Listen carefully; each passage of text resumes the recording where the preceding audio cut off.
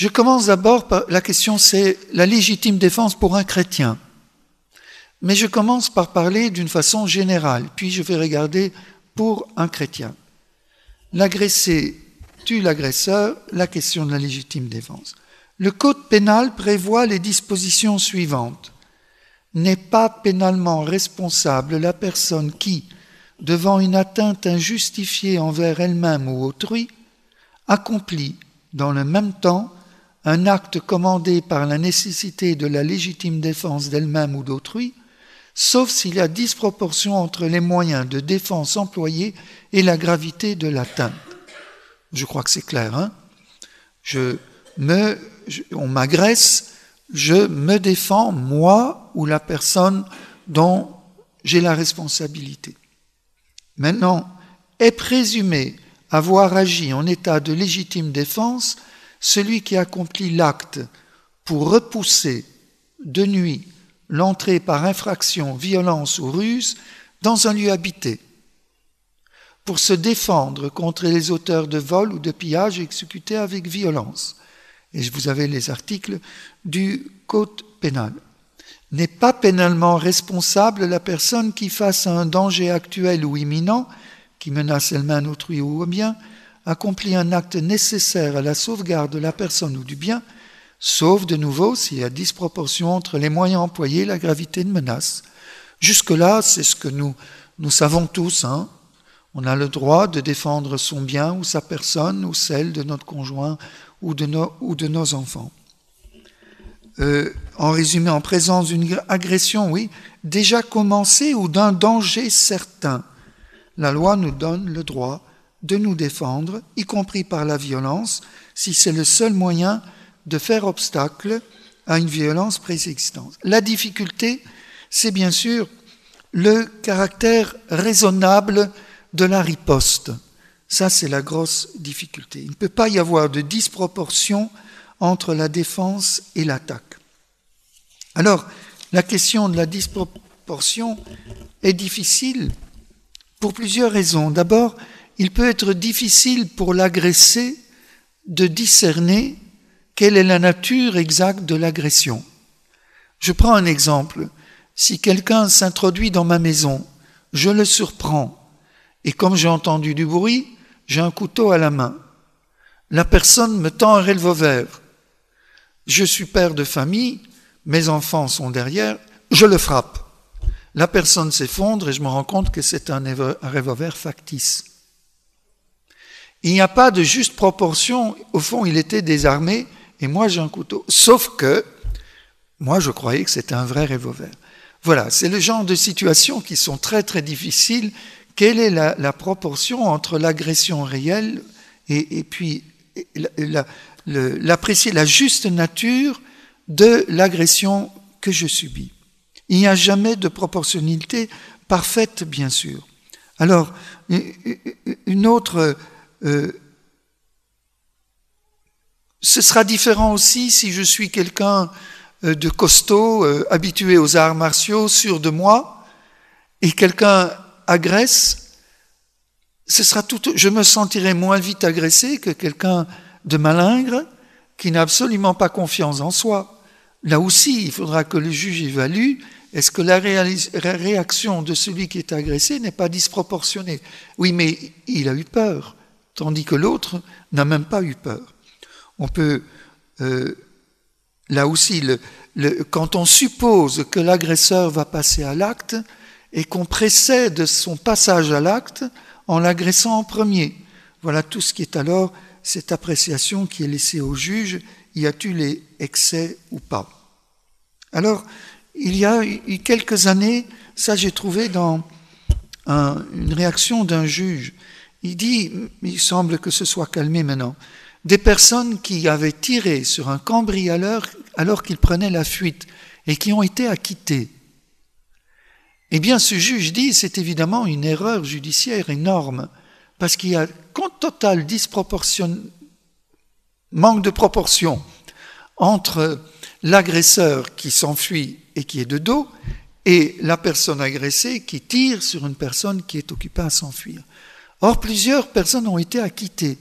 Et ça, c'est un peu la limite de l'intime conviction d'une cour d'assises qui ne doit même pas rendre compte des motifs de leur choix. Mais c'est une erreur qu'il ne faudrait pas laisser passer. La personne qui s'enfuit n'est pas une menace pour celui qui tire. Alors l'argument employé, oui, sans doute n'y a-t-il pas de légitime défense, mais le cambrioleur n'avait pas à venir et finalement il n'a que ce qu'il mérite. Attention, ce sont des paroles qui ont cours sur la place publique, mais qui ne sont pas justes pour une cour de justice, bien sûr. Mais bon, maintenant il semble que ce genre de situation est moins courant. Je passe, je ne vais pas m'arrêter trop longtemps, pour un chrétien. Pour un chrétien, tout est mesuré par l'interdit du meurtre. La défense légitime des personnes et des sociétés n'est pas une exception à l'interdit du meurtre de l'innocent que constitue l'homicide volontaire. Et là aussi, je reviens à votre question, l'amour de soi fait partie aussi des obligations. Ma vie, j'en ai la responsabilité. Regardez ce que dit Saint Thomas. L'action de se défendre peut entraîner un double effet. L'un est la conservation de sa propre vie, l'autre la mort de l'agresseur. L'un seulement est voulu, l'autre ne l'est pas. Je ne peux pas vouloir, ça reste toujours la défense de l'homicide, je ne peux pas vouloir la mort de l'autre. Mais si elle est, si je lui inflige la mort parce que je défends la mienne, cet acte est justifié eu égard à la responsabilité que j'ai de ma propre vie. Ma vie est importante, elle aussi. J'ai le devoir de la, de la respecter. Alors, le CEC, c'est le catéchisme de l'Église catholique, reprend ce thème. L'amour envers soi-même demeure un principe fondamental de la moralité. Il est donc légitime de faire respecter son propre droit à la vie. Qui défend sa vie n'est pas coupable d'homicide, même s'il est contraint de porter à son agresseur un coup mortel. Si pour se défendre on exerce une violence plus grande qu'il ne faut, ce sera illicite. Mais si l'on repousse la violence de façon mesurée, ce sera licite. Et il n'est pas nécessaire au salut que l'on omette cet acte de protection mesuré pour éviter de tuer l'autre, car on est davantage tenu de veiller à sa propre vie qu'à celle d'autrui. Voilà, le catéchisme reprend la, somme théologique de saint, de saint Thomas. En plus d'un droit, je reviens au catéchisme, la légitime défense peut être un devoir grave pour qui est responsable de la vie d'autrui. La défense du bien commun exige que l'on mette l'injuste agresseur hors d'état de nuire. À ce titre, les détenteurs légitimes de l'autorité ont le droit de recourir même aux armes pour repousser les agresseurs de la communauté civile confiée à leur responsabilité. Ça, c'est l'État. Mais si je suis père de famille, et que mes proches sont menacés, j'ai le droit et j'ai le devoir de protéger le bien commun, de protéger ma, famille, en mettant, en mettant hors d'état de nuire l'agresseur, toujours dans la juste proportionnalité entre le degré d'agression subi et ma réaction à moi. Alors, si on reste au niveau de l'État, l'effort fait par l'État pour empêcher la diffusion de comportements qui violent les droits de l'homme et les règles fondamentales du vivre ensemble civil correspond à une exigence de la protection du bien commun. L'autorité publique légitime a le droit et le devoir d'infliger des peines proportionnelles à la gravité du délit. La peine a pour premier but de réparer le désordre introduit par la faute. Quand cette peine est volontairement acceptée par le coupable, elle a valeur d'expiation. La peine, en plus de protéger l'ordre public, et la sécurité des personnes a un but médicinal, elle doit, dans la mesure du possible, contribuer à l'amendement du coupable. Alors maintenant, au niveau de la peine de mort, l'enseignement traditionnel de l'Église n'exclut pas, quand l'identité et la responsabilité du coupable sont pleinement vérifiées, le recours à la peine de mort si celle-ci est l'unique moyen praticable pour protéger efficacement de l'injuste agresseur la vie d'être humain.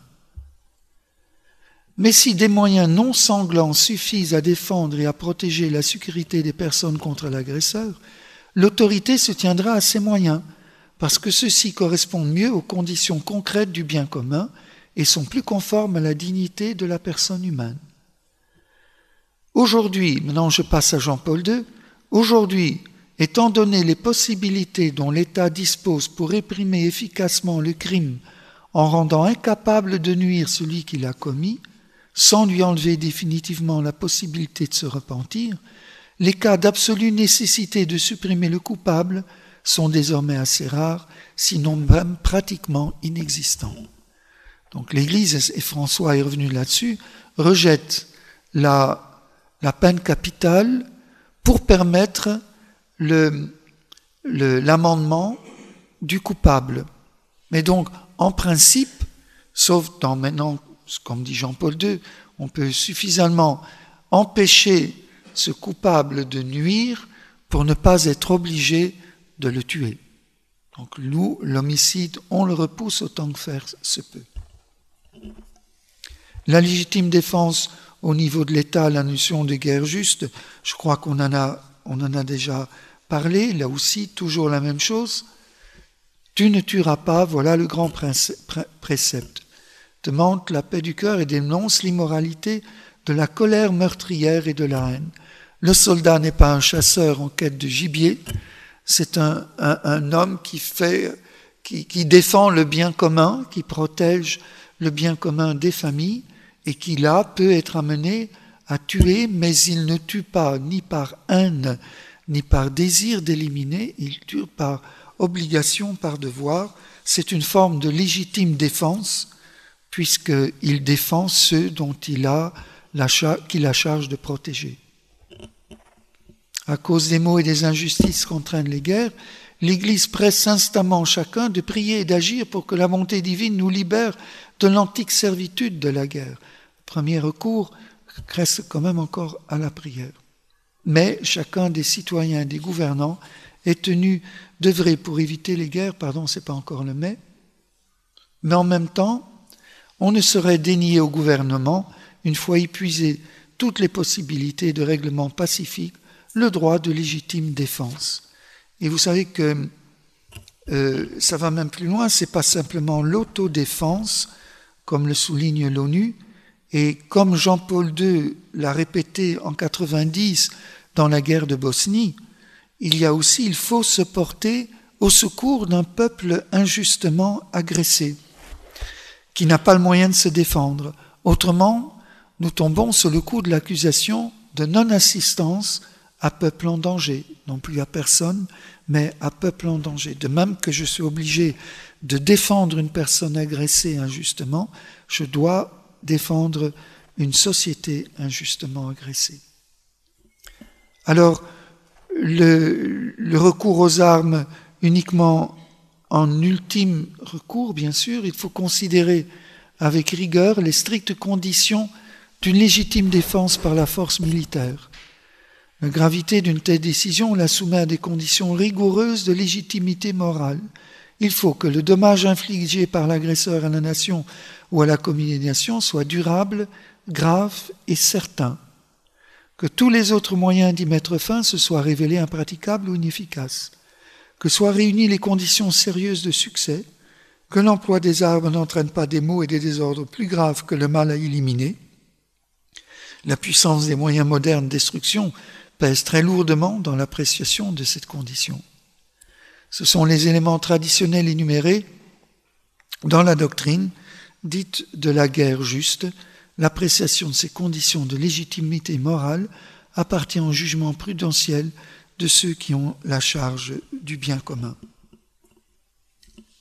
Quant à la participation euh, militaire au niveau de, sauf en cas d'objection de conscience, les pouvoirs publics ont dans, ce cas, quand il faut se défendre, le droit et le devoir d'imposer aux citoyens les obligations nécessaires à la défense nationale. Ceux qui se vouent au service de la patrie dans la vie militaire sont des serviteurs de la sécurité et de la liberté des peuples. S'ils s'acquittent correctement de leurs tâches, ils concourent vraiment au bien commun de la nation et au maintien de la paix.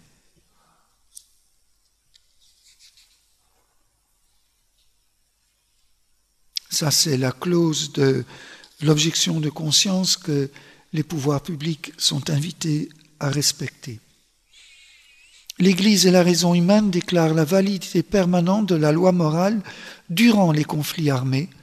Ce n'est pas parce que la guerre est malheureusement engagée que tout devient par le fait même licite entre les parties adverses. Il faut respecter et traiter avec humanité les non-combattants, les soldats blessés et les prisonniers. Les actions délibérément contraires aux droits des gens et ses principes universels, comme les ordres qui les commandent, sont des crimes. Une obéissance aveugle ne suffit pas à excuser ceux qui s'y soumettent. Ainsi, l'extermination d'un peuple, d'une nation ou d'une minorité ethnique doit être condamnée comme un péché mortel. On est moralement tenu de résister aux ordres qui commandent un génocide. Tout acte de guerre qui tend indistinctement à la destruction de villes entières ou de vastes régions avec leurs habitants est un crime contre Dieu et contre l'homme lui-même, qui doit être condamné fermement et sans hésitation. Un risque de la guerre moderne est de fournir l'occasion aux détenteurs des armes scientifiques, notamment atomiques, biologiques ou chimiques, de commettre de tels crimes. Voilà. Conformément à ce qui m'était demandé, j'ai donc rassemblé un certain nombre de textes qui nous disent quelle est la position de l'Église par rapport à cette euh, défense personnelle et cette défense du bien commun, y compris des personnes, voire de l'État, comment c'est un militaire, entre autres, m'avait posé la question, que dit l'Église à un militaire dans son travail euh, de défense de la patrie et la possibilité éventuelle de tuer une personne dans un combat? Oui, il est 5 heures. Je voulais commencer le troisième sujet, mais soit. Y a-t-il des questions sur ce sujet de la légitime défense et sur le droit à la vie? J'en donne déjà une moi-même. Vous avez entendu que Saint Thomas dit Ma vie vaut celle de la personne qui m'agresse. Et c'est certainement vrai quand un père de famille se trouve devant un agresseur, quelqu'un qui agresse sa famille. Il a le devoir de défendre sa famille. Maintenant, si je me trouve, moi, comme prêtre, devant l'agresseur, je peux aussi dire, là, les deux vies se valent, mais je peux aussi dire, Jésus a versé son sang pour cet homme. Je renonce à me défendre, Seigneur, j'offre ma vie pour le salut de cet homme. Voilà, là c'est une autre démarche. C'est dire, sa vie vaut autant que la mienne, au lieu de dire ma vie vaut autant que la sienne, c'est dire sa vie vaut autant que la mienne, Jésus a donné sa vie pour lui, je fais de même pour qu'il puisse être sauvé. Mais voyez, c'est quand même des cas exceptionnels, c'est je n'ai pas d'autre charge d'âme à faire. Puis il y a les cas que nous avions fait allusion la fois passée, où quand il y a Là, c'est pas c'est pas une histoire d'agression. C'est une histoire choisir entre la vie de l'enfant et la vie de la mère. Normalement, lorsque la, la disons, il faut choisir entre les deux. Nous chrétiens, je dirais, je peux pas dire sans hésiter parce que c'est toujours un choix difficile. On choisit la vie de l'enfant, mais ça ne peut pas s'imposer. S'il y a en même temps, ce sont deux vies qui sont en balance. Et une maman peut très bien dire, mais j'ai trois autres enfants, ils ont besoin d'une maman, mon mari a besoin de son époux. Donc, garder la vie de la maman au détriment de l'enfant, si, comme dans certains cas, il faut choisir, si on maintient l'enfant, il est justifié de dire, bien, c'est un choix. La maman, non pas par égoïsme, mais pour pouvoir continuer à exercer son ministère d'épouse et de mère, choisit la vie. Mais on donnait l'exemple de Qui avait, elle, choisi au contraire de faire confiance jusqu'au bout à la Providence, qui saurait accompagner son, couple et sa famille, et de donner la priorité à la vie naissante et de laisser naître l'enfant. Voilà, ça c'est des, des, cas de casuistique extrêmement délicats, mais où notre regard surnaturel introduit quand même une dimension nouvelle. Justement parce que pour nous, la mort n'est pas le dernier mot, et qu'il n'y a pas de plus grand amour que de donner sa vie, voilà des principes de morale théologique qui vont venir influencer une morale simplement philosophique et donner des choix qui peuvent parfois être différents. Y a-t-il des questions sur ce sujet qui n'est pas facile hein, Oui?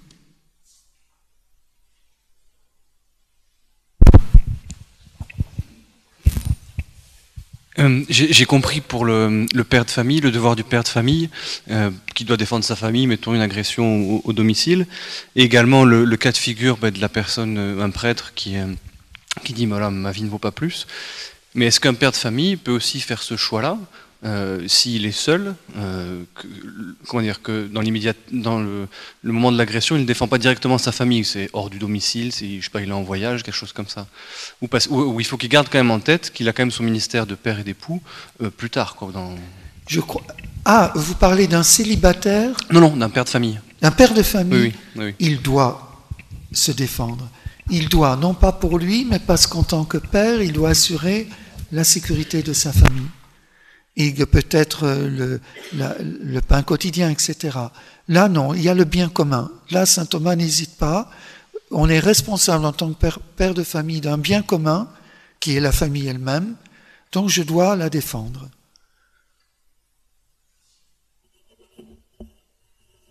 Bien sûr, j'essaierai que le coup ne soit pas fatal, mais s'il est fatal, il l'est. Saint Benoît confie un couteau à, ses moines. Je ne crois pas que ce soit pour se défendre, mais euh, est-ce qu'une euh, personne euh, qui a moins de possibilités physiques, dans un contexte actuel, est-ce qu'il est bon qu'il ait une petite de répulsion ou une petite arme, ou est-ce que c'est juste pour rassurer, ou est-ce que vraiment le chapelet est la meilleure des solutions?